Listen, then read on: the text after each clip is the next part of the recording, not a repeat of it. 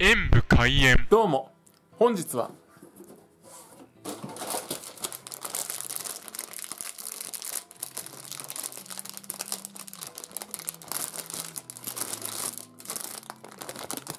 ちらの動物ビスケットを食べたいと思います。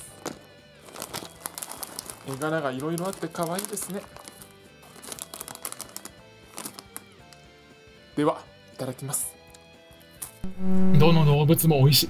いや、可愛いですね。可愛い動物の絵を見ていて見てるだけでも癒されそうですが食べるとほんのりと甘い香りが口の中に広がってもっと癒されます。やっぱり私は花より団子なんですね。ご視聴ありがとうございました。コメントしていただけると嬉しいです。パソコンおよびスマートフォンのアプリの方はクリックをお願いします